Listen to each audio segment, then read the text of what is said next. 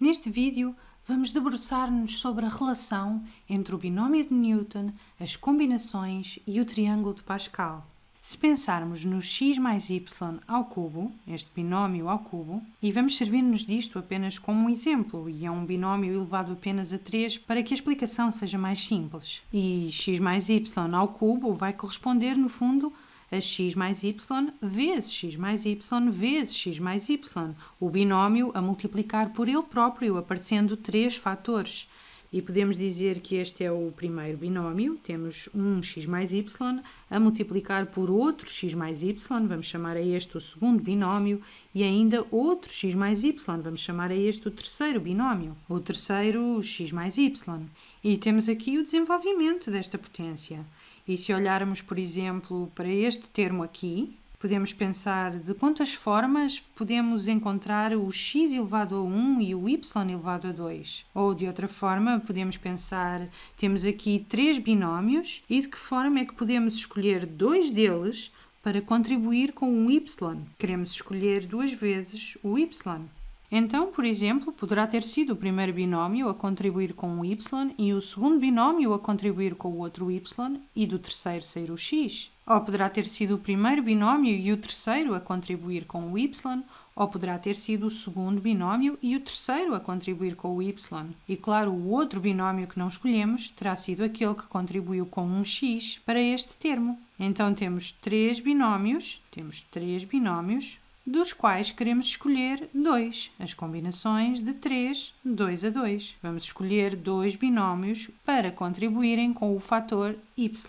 Daí fazer sentido recorrer às combinações. Temos três binómios, temos as combinações de 3, 2 a 2. É a mesma situação de quando temos, por exemplo, três pessoas e queremos escolher duas delas para sentar em determinadas cadeiras, sem que nos interesse em que cadeiras se vão sentar. Queremos apenas escolher duas dessas três pessoas.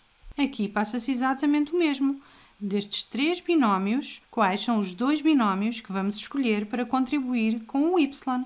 E o terceiro, aquele de onde não tiver saído um destes dois y, será aquele que nos vai contribuir com um x. Agora, se pensarmos no triângulo de Pascal, vamos encontrar uma ideia bastante semelhante. Temos então três binómios. Um primeiro binómio dado por x mais y, x mais y.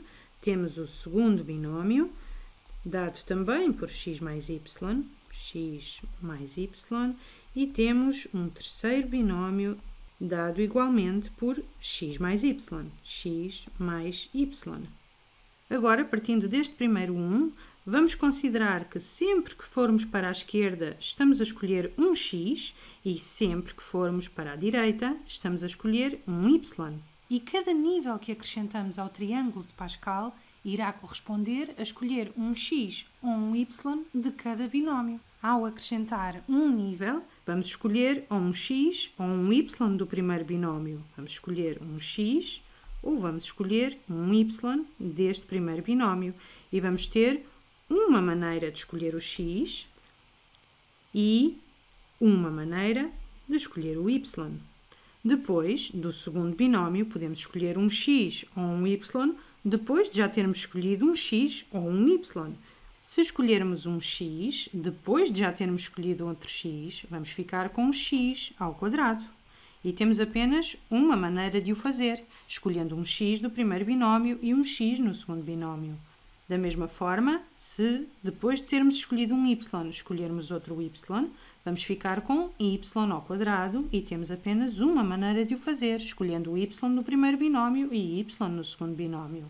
Mas, se depois de escolhermos este x, escolhermos um y, vamos ficar com um termo onde vai aparecer um x e um y. Da mesma forma, Vamos ter um termo com x e y se depois de escolhermos este y, escolhermos um x. E, portanto, temos duas maneiras de encontrar um x y. Escolhendo o x do primeiro binómio e o y do segundo, ou o y do primeiro e o x do segundo. Duas maneiras de encontrar x y. Depois, mais uma vez, podemos escolher x ou x ou x, ou podemos escolher y ou y ou y. Escolhendo y no primeiro, no segundo e no terceiro binómios, vamos encontrar um termo em y ao cubo e temos apenas uma forma de o fazer. Escolhendo x no primeiro, no segundo e no terceiro, vamos encontrar o x ao cubo e temos apenas uma forma de o fazer, escolhendo x em todos os binómios. Aqui vamos ter três maneiras de encontrar o quê? De escolher x e depois x e depois y, ou seja, de termos x ao quadrado vezes y elevado a 1. Reparem que se viéssemos daqui já tínhamos duas maneiras de encontrar x e y e depois íamos multiplicar por x e por isso teríamos x ao quadrado y elevado a 1 também por mais duas maneiras. Temos duas e uma, três maneiras de encontrar x ao quadrado vezes y elevado a 1. Da mesma forma, vamos ter três maneiras de encontrar x, y ao quadrado, que é o termo de que estávamos a falar. Temos aqui o x elevado a 1, y elevado a 2, x elevado a 1 vezes y elevado a 2. E o que estamos a dizer é que temos três maneiras de chegar a este ponto. Reparem que se estivéssemos aqui, tínhamos uma maneira de ter y ao quadrado e se o multiplicarmos por x, ficamos então com x vezes y ao quadrado. Temos uma maneira de vir por aqui. Ou podíamos já ter x vezes y e multiplicar por y para ficar com x vezes y ao quadrado. Mas já tínhamos duas maneiras de chegar aqui e por isso vamos ter duas maneiras de chegar aqui, mais uma maneira de chegar aqui, temos três maneiras de chegar ao termo x vezes y ao quadrado. Mas para ficar claro, vamos mesmo marcar esses três caminhos. Podemos ter o caminho em que escolhemos primeiramente o x e depois um y e depois novamente o y. Ou seja, o que estamos a dizer é que no primeiro binómio escolhemos o x, no segundo binómio optamos pelo azul pela direita, escolhemos o y e no terceiro binómio voltamos a escolher o y.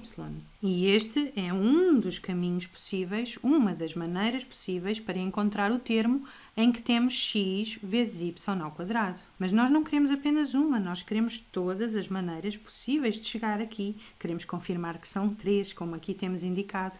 Outra forma seria escolhendo primeiro um y e depois um x e depois novamente um y. Ou seja, estamos a dizer que deste nível do primeiro binómio escolhemos um y, depois escolhemos um x, viramos à esquerda e depois novamente um y, viramos à direita. E temos ainda um terceiro caminho. Podemos escolher y no primeiro binómio, y no segundo binómio e x no terceiro binómio. y, y, x. E temos então os três caminhos. E no fundo, ao fazer estas escolhas, o virar à direita ou à esquerda, ao escolher estes caminhos, estamos a optar duas vezes pela direita para encontrarmos duas vezes o y e a optar uma vez pela esquerda para encontrarmos uma vez o x. E assim, nos três momentos em que podemos optar pelo x ou pelo y, queremos que em dois e apenas dois a escolha seja y. Estamos, por isso, a escolher 2 em 3. E temos assim a nossa relação entre as combinações e o triângulo de Pascal.